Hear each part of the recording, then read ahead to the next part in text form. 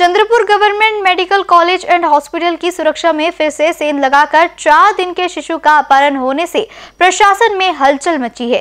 एक बार फिर सुरक्षा की कमी उजागर हुई है। मंगलवार की सुबह अस्पताल में न्यूनेटल इंटेंसिव केयर यूनिट से चार दिन की बच्ची का अपहरण कर लिया गया था।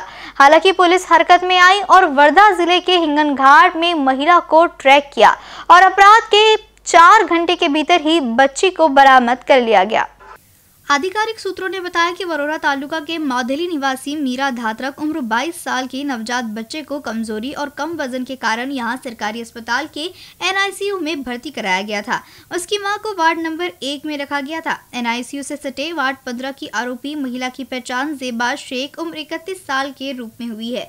जब मीरा अपने वार्ड में रह रही थी, तब उसने दोस्ती की और अस्पताल के कर्मचारियों को ऐसा महसूस हुआ की वह उनकी रिश्तेदार है।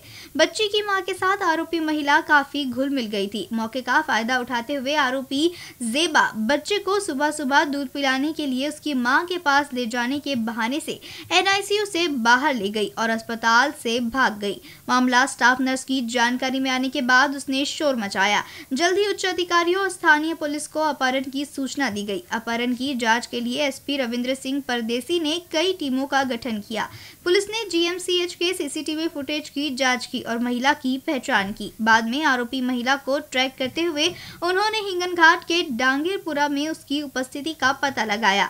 चंद्रपुर शहर थाना के थानेदार सतीश राजपूत की अगुवाई में एक टीम ने हिंगन घाट में आरोपी महिला को घेर लिया और उसके कब्जे से शिशु को बरामद कर लिया। पुलिस ने आरोपी जेबा शेख को गिरफ़्तार कर लिया है। बच्ची को उसकी माता पिता को सौंप भी दिया गया। Chandrapur government medical college and hospital ने अस्पताल की सुरक्षा का जिम्मा एक निजी सुरक्षा एजेंसी को सौंप दिया है। पिछले कुछ सालों में जीएमसीएच के न्यूनेटल वार्ड से बच्चे के अपहरण की यह दूसरी घटना है। हालाँकि पुलिस की मुस्तैदी और तुरंत कार्रवाई से माँ को अपना बच्चा चार घंटों की जद्दोजहद के बाद वापस मिला तो माँ की खुशी साफ़ झलक रही थी। साथ ही माँ के साथ साथ छात्रक परिवार ने पुलिस प्रशासन को धन्यवाद किया। तपास सुरू केला या तपासात अत्यंत सुंदर पद्धतीने आंतरजिल्हा कॉर्डिनेशन आंतरविभागीय कॉर्डिनेशन म्हणजे समन्वय साधला गेला आणि अवघ्या तीन तासात सदर बाळ चोरून नेणारी महिला हिला ताब्यात घेण्यास पोलिसांना यश मिळाले. सदर महिला ही हिंगणघाटची असून वर्धा पोलिसांच्या टीमने तिला त्या ठिकाणी ताब्यात घेतले.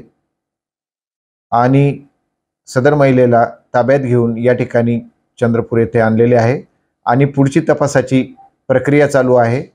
बाळ सुखरूप आहे आणि बाळाला त्याच्या आईजवळ सोपवण्यात आलेला आहे. इन न्यूज के लिए चंद्रपुर से सुनील तायड़े की स्पेशल रिपोर्ट